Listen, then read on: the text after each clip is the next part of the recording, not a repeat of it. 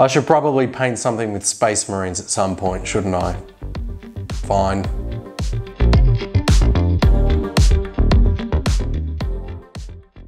I want some more items to be able to decorate the background and the set here. They don't have to be 40k related, but I did notice that online the Primaris McFarlane Hellblaster toy was going for only $10 and that was a steal. I had to pick one up.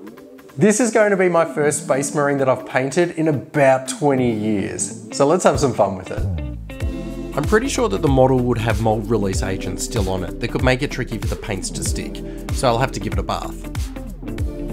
We can probably spice up this bath footage though. Ah yes, cleanse for the Emperor, Brother Rubix, and Brother Arakuda.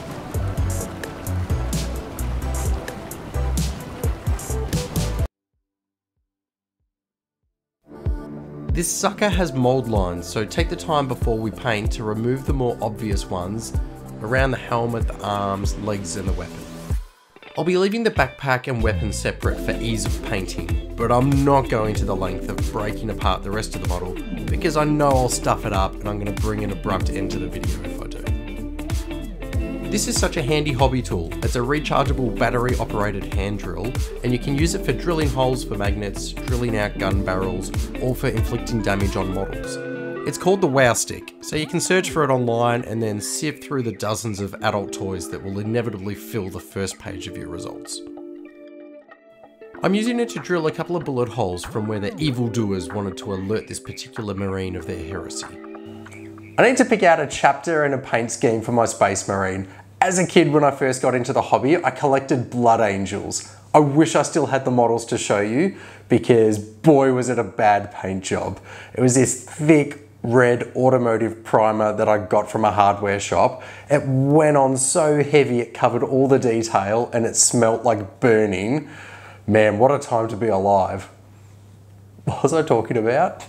Blood Angels. Now I know it's probably one of the most popular chapters, but this could be a cool nostalgic hobby moment for me where I have one sitting on the shelf behind me, which is no doubt gonna have to be better than the ones I had as a kid. Starting dark then with a black primer. This should help me get some nicer, deeper dark shadows on him under the arms and in any of those recess spots. I normally get straight into my colours, but I see other artists online that put a coat of another black over the top of a spray can primer. So I'm doing that. Am I mad? It feels like a hat on a hat moment. Oh well. Mixing together a combination of two parts black, one part Khorne Red, and one part purple gives me a nice dark shadow colour. I don't need to mask off any areas throughout this process because areas that I accidentally overspray are going to be brush painted later. Under the arms, inside the legs, I'm picturing the light coming from above to keep it simple so anything on an underside can have a spray. Each time I have to talk myself into using darker paints and remember that when I use a bright colour as a highlight, then it will come to life.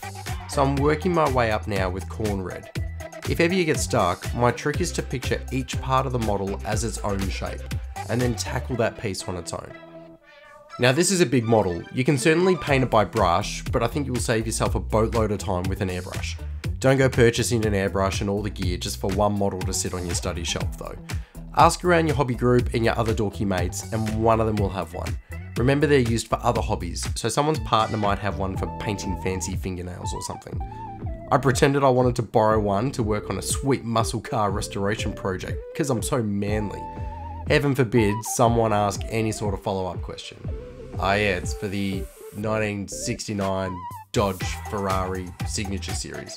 You've probably never heard of it. Mephiston Red is next. This is the red red, the middle of my brightness. If an armor panel will be completely red, then this layer is only going over roughly the top third of it leaving our darker ones below and offering a little room for our brighter ones to come. I don't completely clean out the airbrush when I'm transitioning colours like this because having some of the previous one mixed in there will actually help with each layer blending smoothly. Evil Sunz Scarlet is next. If you don't have these exact paints, don't wig out. Have a look at what similar colours you have and what ones you can create. Don't add whites though to your reds in the hopes of making them brighter as they're just going to turn pink. The final highlight from the airbrush will be a 50-50 mix of Evil Sunz Scarlet and Troll Slayer Orange. and this has been applied in small amounts to the most raised sections. I think he's looking pretty cool. The airbrush work is done, it's time to head upstairs. There's some more work to do with the red armour at the darkest and the brightest ends. To start with, I'm painting black in the scratches and bullet holes as well in each of the armour panel lines. Thin brush, taking my time, and wiping away any mistakes. I want the armour to have been battle tested, so I'm going to apply a chipping effect by dipping some packing foam into brown paint and then lightly dabbing onto the edges of the armour and places where it's been crashing into debris. Orange will be the edge highlight colour, and I'm selecting Troll Slayer Orange again. I'm following the raised edges of the armour panels. The damage will stand out now and look 3D as a thin orange highlight is added. Follow the underside of the brown chipping. Yes! Okay, cool. This is what I wanted, it's looking good so far. I'm going to get most of these boring metal parts out of the way with simple tactics because I'm already looking ahead to the next part I want to tackle. I'm using Vallejo Gunmetal Silver because it's amazing, and yeah, I'm a little sad that it took me so many years to discover it, so what? A layer of this on areas such as knee and elbow joints, the inside of the gloves, the backpack, and any parts of the weapon we want to be metal. Done. I'm washing with Nuln Oil so that the areas stay nice and dark, and then I'll come back later on and hit them with an edge highlight of a bright silver when I remember. The helmet and a panel on the backpack are going to be black. A couple of thin coats of Abaddon black here. There's no shading with washes because we can't get any darker than the black we have. With a model this large, I want to challenge myself in areas that I wouldn't usually give that much attention, maybe because I'm not as confident. The helmet is going to be a focal point for people looking at the model. So this is an area that I probably don't have an excuse now not to put some more time and effort in and try and make it look good. Amazing miniature painter Darren Latham recently shared his guide to painting a skull onto the helmet of a Space Marine. Now that I'm benefiting from having the larger model, this is something I want to try out. I'm sketching an outline with Zandri Dust to get the shape of the skull. I still have black paint on my palette so I can tidy up the lines as I go. I create a glaze for the shadow areas using a slightly darker brown and some thinner.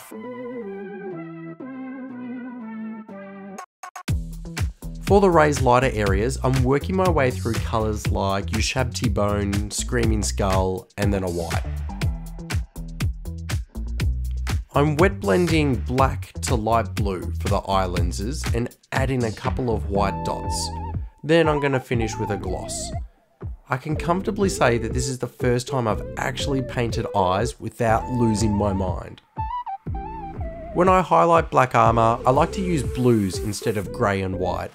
Each of these layers are painting on similar to edge highlights, but they start fat and work their way thinner and sharper as I progress. Incubi Darkness is first, and you see the difference from the black is quite subtle. I think the helmet, the black backpack panel, and the casing of the plasma weapon will be enough black sections on the model to break up from all the red. Thunderhawk Blue is next, and I'm catching around half of the previous area. Then finally, Fenrisian Grey for the thin edges. Okay, this is it. This is the part of the video that I'm most nervous about. I'm worried that I'm about to ruin the whole model because I want to try and paint non-metallic metal for the first time. Probably picked a better model to do it on because it's larger, but also I'm this far in and I'm nervous that I'm just going to ruin it. Rhinox Hide is the brown base coat that I'm starting with, and my goal is to paint the chest symbol as well as both trims on the shoulder pauldrons. Zumiko, Squidmar, Miniac, and Ninjon each have tutorials that vary a little and use different colours. This is good and bad for me. It lets me know that there's multiple ways you can attack it, but also means that I'll fall somewhere in the middle of a few different styles. I'm taking their advice and focusing on contrast from dark browns all the way to white, and I'm trying to achieve smooth gradients by using glazing techniques. The four colours I'm using are Rhinox Hide from GW, and then three Vallejo colours, being Scrofulous Brown, Sun Yellow, and Off-White. There are GW and other brand variants for each of these, so use what you have on hand.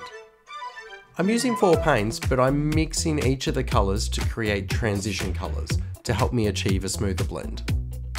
I can see what they're talking about in their videos now. When I'm painting the red armour, I transition from dark red to orange and I feel like that's a pretty dramatic shift. However, here I'm going from a very dark brown through yellows all the way to white in a short amount of model. The shoulders are going to be a challenge for me because I can't hide behind the texture and shape like I could with the chest symbol. Here I've tried to focus on another key principle that the artists talk about, which is having secondary reflections. So rather than one point which is bright, here there's going to be second and third areas which are shiny but not as bright. I'm speeding through the leather pouches using a couple of browns and painting with small scratching style brush strokes to give the impression of texture, but I'm mindful that these are hidden on the back of the model so I don't want to get lost here. There we go, I finally remember to highlight my silver edges.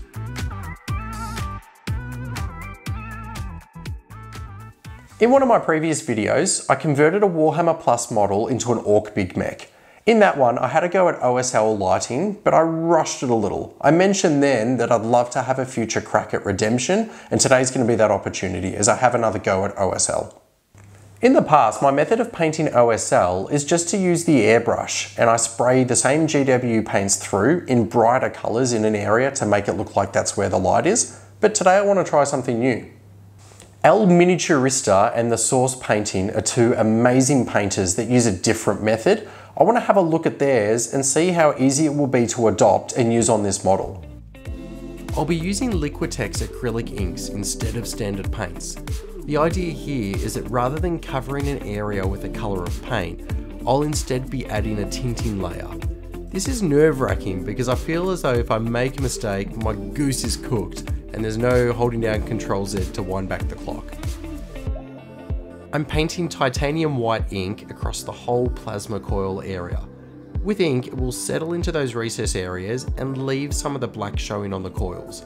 This is a win. It will show that the hottest areas are in the core of the weapon. Next I'm using the airbrush and I'm spraying the white ink in areas around the weapon where I believe the light glow will be cast.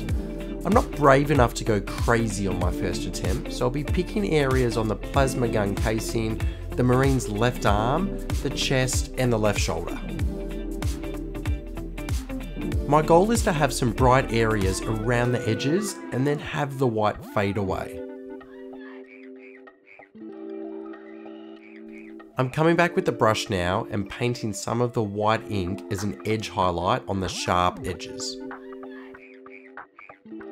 How do you pick a plasma glow color for your model or for your army?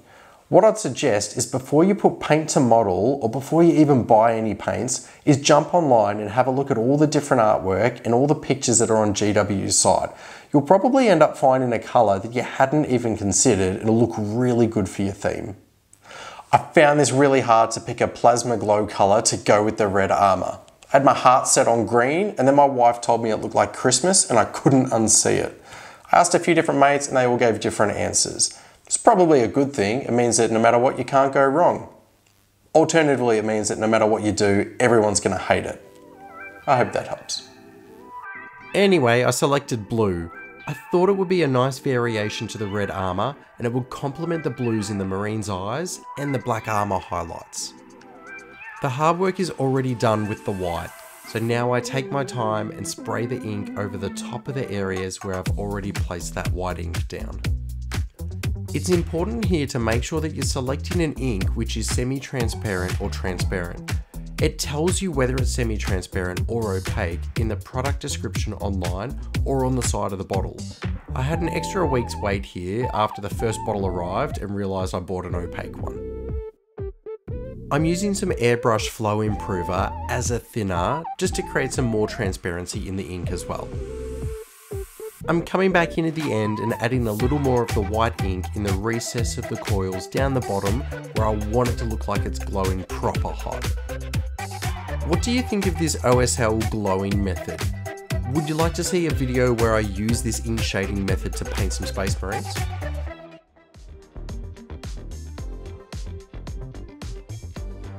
I'm calling him finished. Really happy with this. The model was a lot of fun to paint, and trying new techniques on a larger scale model was a good idea for me.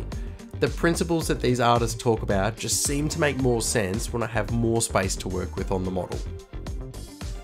And check this out, goal achieved. Now I've got another item to be part of the backdrop. So anyway, I have a second model because I couldn't help myself and I bought two, but I have no idea what to do with it. Should I paint it up as well and add it to the back shelf? Or should I paint it for someone else? Let me know. The channel is still growing and your contributions with likes and comments are making a huge difference. Thank you so much for watching. If you want to subscribe, you're welcome to. And there's another video you can check out as well. Can't wait to see you on the next one. Thanks again.